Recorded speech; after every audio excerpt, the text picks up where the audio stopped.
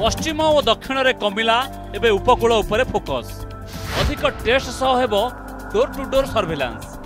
ସଂକ୍ରମିତକୁ ଚିହ୍ନଟ କରି ସଙ୍ଗରୋଧରେ ରଖାଯିବ। ଟ୍ରିଟମେଣ୍ଟ ଓ କଣ୍ଟାକ୍ଟ ଟ୍ରେସିଂ ହେବ। ଯେଉଁ ଅଞ୍ଚଳରେ ଅଧିକ ଚିହ୍ନଟ ହେବେ ସେ ସ୍ଥାନକୁ କଣ୍ଟେନମେଣ୍ଟ ଜୋନ୍ କରାଯିବ। କାରଣ ପଶ୍ଚିମ ଓ ଦକ୍ଷିଣ ଓଡ଼ିଶାର ସତରଟି ଜିଲ୍ଲାରେ ସଂକ୍ରମଣ କମିଥିବା ବେଳେ ଉତ୍ତର ଓ ଉପକୂଳ ଓଡ଼ିଶାର ତେରଟି ଜିଲ୍ଲାରେ ହ୍ରାସ ପାଉନି ସଂକ୍ରମଣ ହାର। ଚଉଦଟି ଜିଲ୍ଲାରେ ପାଞ୍ଚ ପ୍ରତିଶତ ତଳେ ପଜିଟିଭିଟି ରେଟ୍ ରହିଛି। ଆଠଟି ଜିଲ୍ଲାରେ ପାଞ୍ଚରୁ ସାତ ଦଶମିକ ପାଞ୍ଚ ପ୍ରତିଶତ ଭିତରେ ରହିଛି ପଜିଟିଭିଟି ରେଟ୍। ସେହିପରି ପାଞ୍ଚଟି ଜିଲ୍ଲାରେ ଏବେ ବି ପଜିଟିଭିଟି ରେଟ୍ ସାତ ଦଶମିକ ପାଞ୍ଚରୁ ଦଶ ପ୍ରତିଶତ ଭିତରେ ରହିଛି। ଯାଜପୁର ଜିଲ୍ଲାରେ ସର୍ବାଧିକ ପଜିଟିଭିଟି ରେଟ୍ ଉଣେଇଶ ଦଶମିକ ପାଞ୍ଚ ପ୍ରତିଶତ ରହିଛି। ଉପକୂଳ ଉତ୍ତର ଓଡ଼ିଶାର ବାରଟି ଜିଲ୍ଲାରେ ଦୈନିକ ପଜିଟିଭ ସଂଖ୍ୟା ଶହେ ଉପରେ ରହିଛି। ତେଣୁ ଏହି ଜିଲ୍ଲାଗୁଡ଼ିକ ଉପରେ ଅଧିକ ଫୋକସ୍ କରାଯାଉଛି। ଇଏ ଗୋଟେ ଅ, ସ୍ୱାଭାବିକ ପ୍ରକ୍ରିୟା। ଆପଣ ଯେମିତି ଦେଖିଲେ ୱେଷ୍ଟର୍ଣ୍ଣ ଇଣ୍ଡିଆରେ ଆରମ୍ଭ ହେଲା ତାଙ୍କର ଖସିଲା ଆମର ତାପରେ ଇଷ୍ଟର୍ଣ୍ଣ ପାର୍ଟ ଅଫ୍ ଇଣ୍ଡିଆକୁ ଆସିଲା। ସେମିତି ଆମର ବି ଗୋଟେ ପର୍ଯ୍ୟାୟକ୍ରମେ ପଶ୍ଚିମ ଓଡ଼ିଶାରୁ ବ୍ୟାପିକି ଆସିଛି। ତାଙ୍କର ସେପଟ କମିବା ଆରମ୍ଭ ହେଲାଣି। ଆପଣ ଜାଣିଛନ୍ତି ଆଜି ପ୍ରାୟ ଅଠରଟା ଜିଲ୍ଲାରେ ଡବଲ ଡିଜିଟ୍ରେ ଅଛି ଶହେ ତଳେ ଅଛି। ବାକି ଏଇ ଯେଉଁ ଜିଲ୍ଲା ସ୍ଲାଇଡ଼ଲି ଅଧିକା ଅଛି ସେମାନେ ବି ପର୍ଯ୍ୟାୟକ୍ରମେ ଆମ ଯାହା କାର୍ଯ୍ୟକ୍ରମ ଚାଲିଛି ଯେଉଁଭଳି ଭାବରେ ଟେଷ୍ଟିଂ ଚାଲିଛି ଯେଉଁ ଭଳିଆ ଡୋର୍ ଟୁ ଡୋର୍ ସର୍ଭେ ଚାଲିଛି ସିଏ ବି ନିୟନ୍ତ୍ରଣ ଭିତରକୁ ଆସିଯିବ। କାହିଁକିନା ପୁରା ରାଜ୍ୟରେ ବର୍ତ୍ତମାନ ଆପଣ ଜାଣିଛନ୍ତି ହାରାହାରି ଛଅ ପରସେଣ୍ଟ ପାଖାପାଖି ଟିଏଫଆର୍ ରହୁଛି। ଆମର ଷ୍ଟ୍ରାଟେଜି ହେଲା ଆମର ଖୋଜିବା।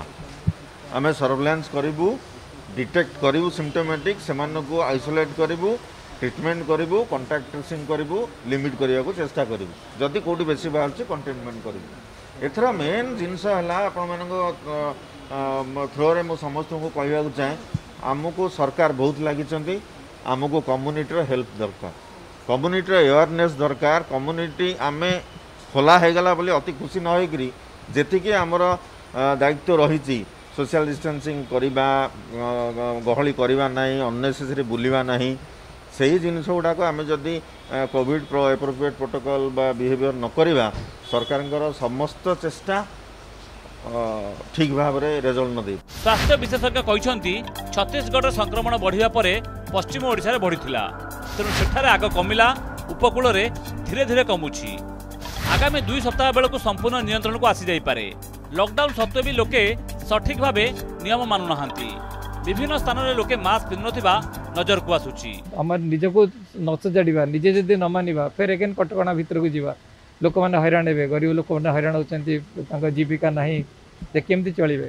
ଯେଉଁ ଯେଉଁ ନ୍ୟୁଜ୍ ଗୁଡ଼ା ଆସୁଛି ତାଙ୍କର ଫାଇନାନ୍ସିଆଲ କଣ୍ଡିସନ୍ ତାଙ୍କର ଯେଉଁ ଆଉ ଯେଉଁ ଡେଥ୍ ହେଇଯାଉଛି ଫ୍ୟାମିଲିରେ ପିଲାମାନେ ଅନାଥ ହେଇଯାଉଛନ୍ତି ପ୍ୟାରେଣ୍ଟସ୍ଙ୍କର ଡେଥ୍ ହେଇଯାଉଛି। ତାଙ୍କ କଥା ଟିକେ ମନେ ରଖନ୍ତୁ ଆପଣମାନେ ଯଦି ରିସ୍କି ବିହେଭିଅର୍ କରିବେ ଲୋକମାନଙ୍କର ଡେଥ୍ ହେଉଛି ଭାବିପାରୁଛନ୍ତି ୟଙ୍ଗ ଲୋକଙ୍କର ଡେଥ୍ ହେଲେ ଫ୍ୟାମିଲିରେ କି ଇମ୍ପାକ୍ଟ ପଡ଼ୁଛି। ତେଣୁ ଆପଣଙ୍କ close and near and dear ones କରିବେ କାହାର ଯଦି ଡେଥ୍ ହେବ ଭାବିଲେ କ'ଣ ହେବ ଫ୍ୟାମିଲିରେ ଆପଣ ସେତିକି ଯଦି ଭାବିବେ ଆପଣ ମାନେ ନାଗରିକ ହିସାବରେ ଯଦି ସେତିକି ଭାବିବେ ତାହେଲେ ଆପଣ ହାଇ ରିସ୍କ ବିହେଭିଅର୍ କରିବେ ନାହିଁ। ସେପଟେ ଅମାନ୍ୟାଙ୍କ ଉପରେ ନଜର ରଖିଛି ପୋଲିସ। ଏପ୍ରିଲ ଏକରୁ ଆଜି ଯାଏ ପାଞ୍ଚ ଲକ୍ଷରୁ ଅଧିକ ଅମାନ୍ୟାଙ୍କ ବିରୋଧରେ କାର୍ଯ୍ୟାନୁଷ୍ଠାନ ହୋଇଛି। ସେହିପରି ନିୟମ ଭାଙ୍ଗିଥିବା ଲୋକଙ୍କଠାରୁ ଷୋହଳ କୋଟିରୁ ଅଧିକ ଫାଇନ୍ ଆଦାୟ ହୋଇଛି। ତିନି ହଜାର ନଅଶହ ଅଠସ୍ତରୀ ଦୋକାନୀ ମାର୍କେଟ କମ୍ପ୍ଲେକ୍ସ ବିରୋଧରେ କାର୍ଯ୍ୟାନୁଷ୍ଠାନ ହୋଇଛି। ଚଉଦଶହ ଛୟାଅଶୀ ଜଣଙ୍କୁ ପୋଲିସ ଗିରଫ କରିଥିବା ଡିଜିପି ସୂଚନା ଦେଇଛନ୍ତି। ପାଞ୍ଚ ଲାଖ ତିରିଶ ହଜାର ସେ ଉର୍ଦ୍ଧ୍ୱ ଲୋକ ବିରୁଦ୍ଧ ଆମେ କାର୍ଯ୍ୟାନୁଷ୍ଠାନ କରିଛୁ। ମାସ୍କ ନ ପିନ୍ଧିବା ପାଇଁ ଆଣ୍ଡ ସୋସିଆଲ ଡିଷ୍ଟାନ୍ସିଂ ନ ମେଣ୍ଟେନ୍ କରିବା ପାଇଁ ଷୋହଳ କୋଟି ସେ ବେଶୀ ଟଙ୍କା ଫା- ଫାଇନ୍ ଆଦାୟ କରିଛୁ। ତିନି ହଜାର ନଅଶହ ଉନାଅଶୀ ଦୋକାନୀ କିମ୍ବା ମାର୍କେଟ କିମ୍ବା ସଂସ୍ଥାକୁ ବନ୍ଦ କରାଯାଇଛି ସିଲ୍ କରାଯାଇଛି। ସପ୍ ମାର୍କେଟ ଆଣ୍ଡ ଏ ପ୍ରକାର ଇନଷ୍ଟିଚ୍ୟୁସନରୁ ସଡ଼ଚାଳିଶ ଲକ୍ଷ ଟଙ୍କା ସେ ଉର୍ଦ୍ଧ୍ୱ ଫାଇନ୍ ଆଦାୟ କରାଯାଇଛି। ଏକ ହଜାର ଚାରିଶହ ଛିଆଅଶୀ ଲୋକକୁ ପୁଲିସ ଅରେଷ୍ଟ କରିଛନ୍ତି ଏ କୋଭିଡ଼ କଟକଣା ନ ମାନିବା ପାଇଁ। ଏକତିରିଶ ହଜାର ସାତଶହ ଅଠାବନ ଗାଡ଼ିକୁ ପୁଲିସ ସିଜ୍ କରିଛି। ଦୁର୍ବଳ ହେଉଛି କରୋନାର ଦ୍ୱିତୀୟ ଲହର। ଆକ୍ଟିଭ କେସ୍ ଅନୁସାରେ ଚାରି ଜିଲ୍ଲା ଏବେ ରେଡ୍ ଜୋନ୍ରେ ରହିଛି। ସେହିପରି ଟେଷ୍ଟ ପଜିଟିଭିଟି ରେଟ୍ ଅନୁସାରେ ରେଡ୍ ଜୋନ୍ରେ ରହିଛି ରାଜ୍ୟର ଆଠ ଜିଲ୍ଲା।